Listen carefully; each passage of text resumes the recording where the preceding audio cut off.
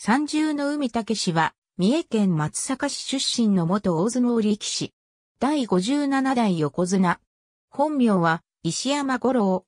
現役引退後は、年寄りとして、後進の指導に尽くし、日本相撲協会の理事長職も務めた。また、相撲博物館の館長職にもついている。幼少期は山で木を削って刀を作ったり、ターザンごっこをしたり、寺で三角ベースをやったりしていた。野球も少ししていたが、特別好きなチームはなく、好きな選手はいなかった。運動神経は悪かったため、野球ではチームの足を引っ張っていた。父が建設関係の仕事をしていた頃は普通の生活を送っていたが、父が病気で倒れてからは途端に貧しくなった。以来、ベルトを買う金もなく、母の腰巻きの紐で代用していたほどの貧窮家庭に育った。小学4年生の頃から新聞配達を行い、6年生の頃からは中学生以上でないと行えない牛乳配達を年を偽っていった。中学時代は松坂駅近くの精肉店の配達のアルバイトも、はじめ仕事の終わりの銭湯と外食が楽しみであった。中学1年の時、石山と10歳以上年の離れた兄が、出羽の海部屋をひいきにしていた魚屋の大将に、うちの弟がそこそこ体が大きいから、相撲取りにどうかなと、冗談半分で相談した。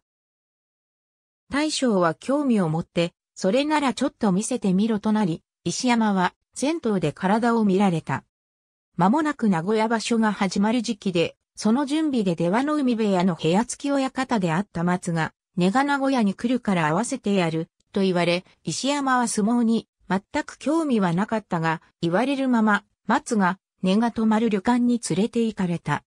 75kg 以上と体重はあったが、身長が167センチメートルぐらいで、当時の新弟子検査の基準に達していなかった。松が、根は身長が伸びたら、また連絡でもしてこいと言い、結局、それで話はすぐに終わってしまった。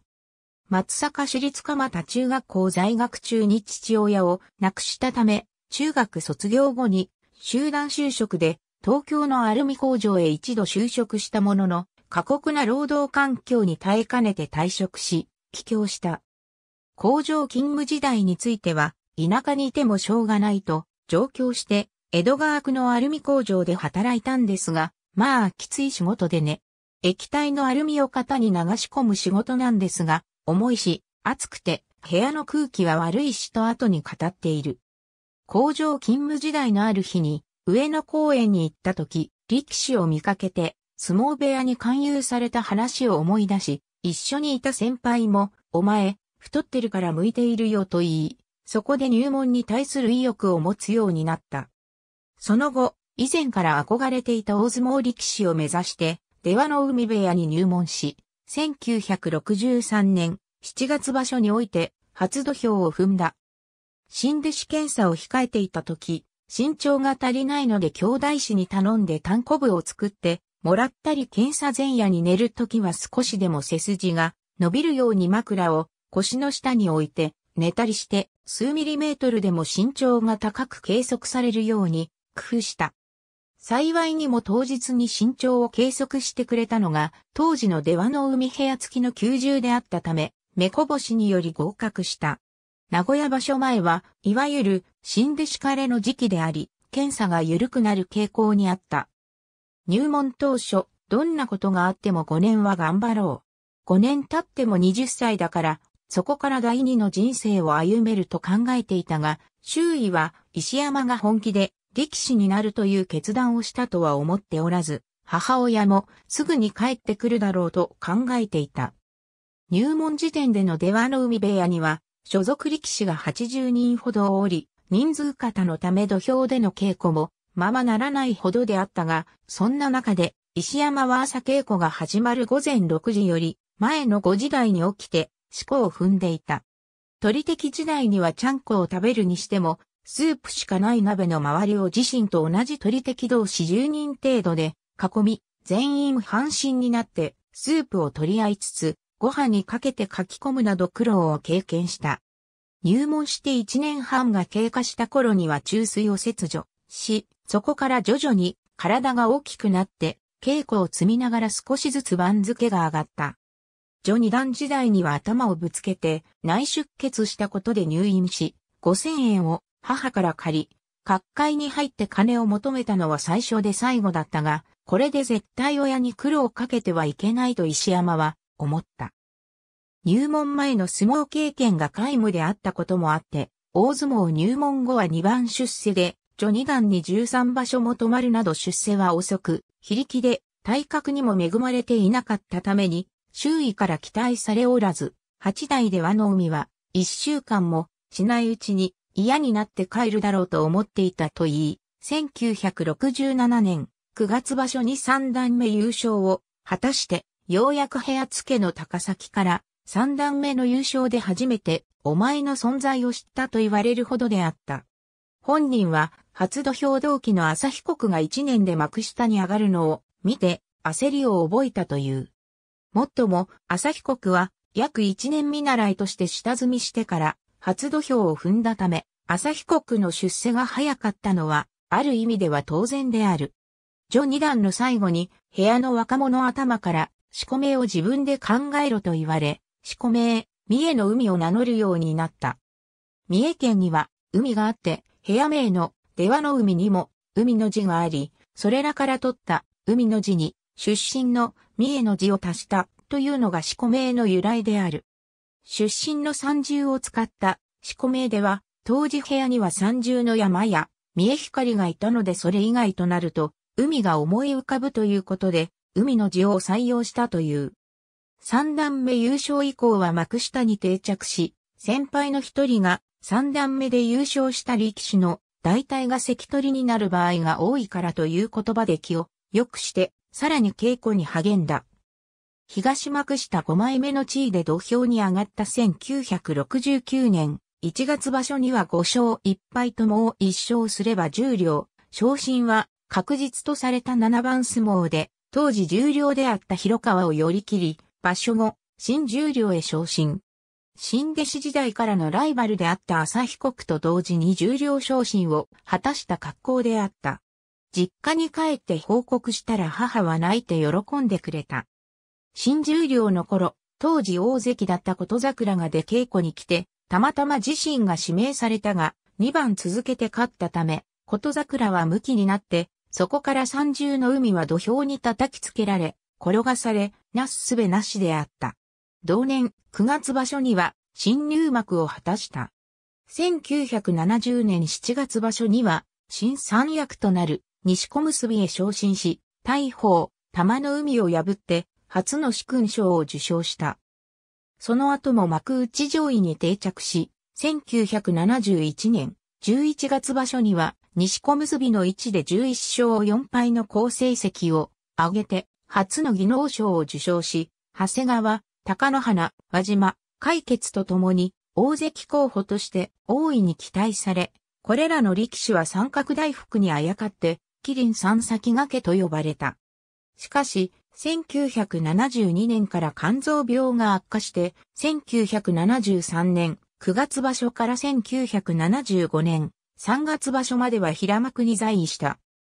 1975年5月場所に関脇へ復帰し、同年9月場所において11勝4敗の好成績を挙げ、続く11月場所では、当時27歳11ヶ月の年齢で13勝2敗の成績を挙げて、初の幕内優勝を果たし、翌1976年1月場所において、大関へ昇進した。この場所は、優勝するなんて気は、さらさらなかった。そんな気持ちだったら体も動かないしね。自分の持っているものを全部出そうとという気持ちで挑んでおり、後年の新聞の記事で13日目に2敗同士の横綱の北の海と対戦したが、とにかく優勝ではなく、北の海に勝ちたい一心だった。左を差し合い、一度釣られたが、しのぎにしのいで左からの下手投げ。優勝に加えて大関も見えたからね。もう、神が勝ってたよと実感している。ところが、新大関として迎えた1976年1月場所中、8勝7敗と勝ち越すも左足首を捻挫。その怪我の影響で続く3月場所と5月場所にそれぞれ途中休場したために2場所連続で負け越し、在位3場所目で大関の地位を明け渡してしまう。同年7月場所は関脇の地位へ陥落したが、その7月場所は関脇で10勝を挙げ、1場所で大関特例復帰を果たした。しかし、大関へ復活した1976年9月から1977年11月の8場所の間は、二桁勝利すら挙げられず、大関角番を2回経験した。大関陥落から大関復帰までについては、成績を含め、大関として活躍しなければならないという気持ちが強すぎたと語っており、復帰をかけていた1976年7月場所は、家族にすら伝えてなかったけど、ダメなら引退しようとまで思ったという。また、不成績が続いていたことから、訓読大関、87大関とマスコミに揶揄されたこともある。それでも大関復帰をかけている時期に、お前の相撲は、俺が一番よく知っている。もうダメだと思ったら、俺がインド王を渡す。今は、まだ大丈夫だ。頑張れと出羽の海から励ましを受けたことでやる気を取り戻したという。1978年1月、大関12場所目にして、初めて10勝を挙げ、同年中に2桁勝利を4度記録して、復調を印象づけた。1979年5月場所では、北の海の連勝を32で止めたのを含めて13勝2敗という優勝時点の成績を挙げる。自身初の綱取りとなった翌、7月場所では、初日に土地石城に敗れるが、ここで、これでもう、綱はないな。あとは二桁上げられるように頑張ろうと気持ちを切り替え、そこからは白星を重ねて14連勝。結果14勝1敗の成績を上げて、優勝決定戦まで進出し、輪島との優勝決定戦には敗れたものの、優勝同点の好成績を上げたことで横綱に推挙され、当時31歳5ヶ月の高齢という遅咲きながら、翌9月場所においてようやく横綱へ昇進した。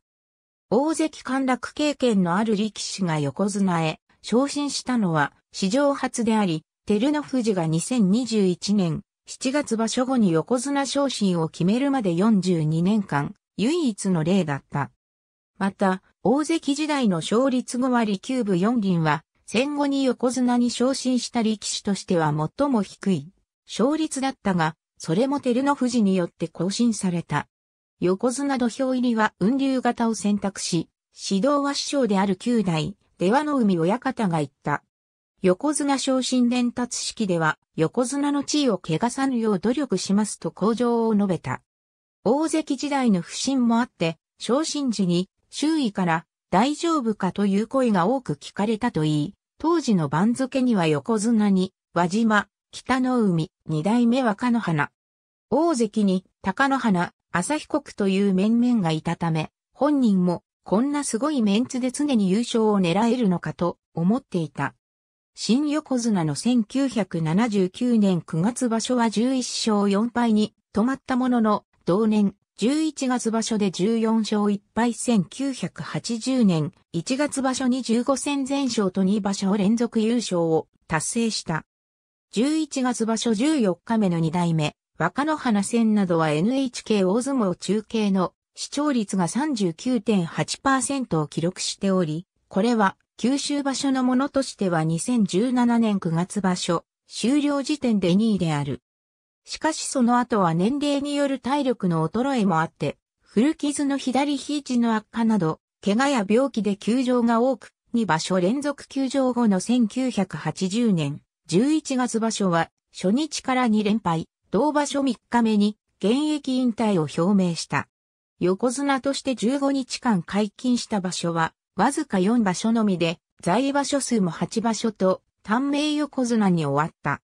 引退後は短期間だけ年寄り山科を襲名した後すぐに年寄り14代武蔵川を襲名し、1981年8月には出羽の海部屋から分家独立して武蔵川部屋を創設した。部屋の指導者としては、横綱、武蔵丸のほか、無双山、出島、宮城山という三大関を含めた12人の関取を育て上げ、一時期は各界最多数の関取を要して一時代を築いた。往年は稽古場において平気で市内を振るう、スパルタぶりで知られていた反面、土俵外では明るく、気さくな人物であったという。一方で書籍によっては、木と哀楽のどの顔しか見せることのなかった昭和の親父と親方時代を表する声も掲載されている。教会員としては、役員待遇、幹事、理事と出世していき、2006年2月からは事業部長を務めた。その後、大相撲力士大麻問題をはじめとした不祥事が相次ぎ、その処遇をめぐって北の海理事長が辞任したことを受け、2008年9月8日に第10代日本相撲協会理事長に就任した。同年、前2007年の時津風部屋力士暴行死事件を受けて、それまで閉鎖的だった協会に外部役員を招聘し、2015年1月現在でも外部役員の招聘は継続されている。2007年6月16日には、2002年の北の富士以来5年ぶり史上8人目となる、還暦土俵入りをホテルグランパシフィックメリディアンで行った。立ち持ちは出島、梅雨払いは宮部山が務めた。2010年に発覚した大相撲野球賭博問題では、弟子の宮部山が野球賭博に関与したために特別調査委員会から謹慎処分を受け、本人もその監督責任として特別調査委員会から同年7月4日から25日までの謹慎を勧告されたため、村山博義に謹慎期間中における理事長代行を移植した。同年7月19日には高血圧で入院していたことが判明し、その後も胃がんの手術を受けて理事長職への復帰の見通しが立たなかったため、当初の移植期間が終了して、以降も村山がそのまま理事長代行を務めた。同年8月5日に理事長職へ復帰したものの、同年8月12日に行われた臨時理事会で正式に理事長辞任を表明し、後任には17代、離れ駒親方に部屋を譲渡する形で武蔵川部屋は、藤島部屋と新たに名称が変更され、14代武蔵川は、部屋の師匠の座から退いた。2013年2月3日に日本相撲協会を定年退職。定年会見では、現役時代について、重量に上がった時が一番嬉しかったと実会しており、横綱を育てることができ、少しでも教会に恩返しできたかなという気持ちとも言い残している。折しも自身の定年が昭和の大横綱大宝が亡くなった時期と近く、教会員として最後の出勤場所となった2013年1月場所中の解説では、大宝に対して哀悼の意を述べるとともに、思い出の取り組みとして、1970年7月場所の3日目、大宝と初顔合わせを果たして勝利を収めた一番を挙げていた。入った時からの大横綱。相撲を取れることだけで、前の晩から眠れないぐらい興奮していましたと解雇し、とにかく相撲を取れるだけで、心が踊っていました。少しでも長く、体に触っていたい。簡単に勝負をつけさせない。そんな気持ちで相撲を取りましたと懐かしんでいた。年寄り名跡、武蔵川を藤島部屋の部屋付き親方である三代、大島親方二条として、自身は同年2月4日に相撲博物館の第6代館長に就任した。その後、15代武蔵川となった元武蔵丸は藤島部屋から分家独立し、新たに武蔵川部屋を起こした。部屋開きの際に14代武蔵川は、かつての日々を思い起こして涙を流したが、14代武蔵川を怖い親方とみなしていたかつての弟子の中には14代武蔵川が涙するところをその場で初めて見たという人物もいた。2015年11月20日、大宝と同じく昭和の大横綱、北の海が62歳で逝去。翌2016年1月に55代横綱、北の海ピンマンを忍んでと題した展覧会が相撲博物館で開かれた際には、最初は連合稽古だったかな。彼が三段目から幕下に上がる頃、すごいのがいると、すぐ強くなると思ったら、あっという間に追い越された。馬力もあった。左4つの型もあった、と振り返るコメントを残し、私が最後に横綱になったんだけどね。ライバル意識が強かった。倒さなきゃ優勝できないんだから。そういう気持ちで頑張ってたなぁと話していた。2021年7月場所中に久々に報道上に登場。この場所で綱取りをかける照ノ富士の取り組みをテレビで見て、私とは比較にならないと言い切り、落ちてここまで戻ってくる力士は今後出ないでしょう。まず大関から落ちて、序二段で取ることが考えられないと不屈の精神に舌を巻いた。入門したばかりの頃は当たって、左前蜜を取るばかりであったが、ある時激しい稽古で頭がブヨブヨに腫れて病院送りになってしまったので、右上手を浅く引いて前に出る出し投げを打つという相撲を覚えた。本人は土地の海が参考になったと語っている。全回しを取って低い姿勢から寄っていく取り口が主体で巧みな前さばきで相手に力を出させずに勝つ相撲を心情とした。右前三つを引いての速攻、右上手出し投げは絶品の速攻相撲であった。好調時には前、回しを引いての速攻がさえ、相手はまだこれからと思っているうち、いつの間にか土俵を割ってしまうことから、容器の漂う土俵とも称された。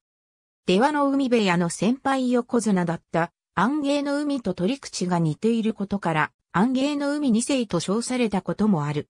安芸の海二世と評されたことに関しては、前蜜を取って頭をつける自分の取り口もそうですが、体つきが似ていたということもあったんでしょうねと話している。前さばきの一環として針刺しを多用し、1977年11月場所の輪島戦では、自身の張り手による相手の脳神等によって寄り切りで勝利しているが、自分の体勢を作れない時は強引な張り手の連発で自滅することもあった。1977年11月場所の輪島戦で張り手を多用したのは、前夜に講演者の面々と食事していた時に三重の海の直近の対輪島戦の成績が悪い話題になり、場の雰囲気がまずくなりそうであったので、じゃあ、明日は張っていきますと、冗談で威勢よく言ってしまったためである。講演者たちは、よし、だったらみんなで見に行こうとなったため、三重の海は、やべ、これは嘘つけないなと思い、張り手を多用することにした。しかしこの一番で結果的に張り手が成功し、以来大関として安定した成績を残せるようになり、ひいては綱取りにつながった。連勝記録30の海の最多連勝記録は24連勝である。下記に詳細を記す。ありがとうございます。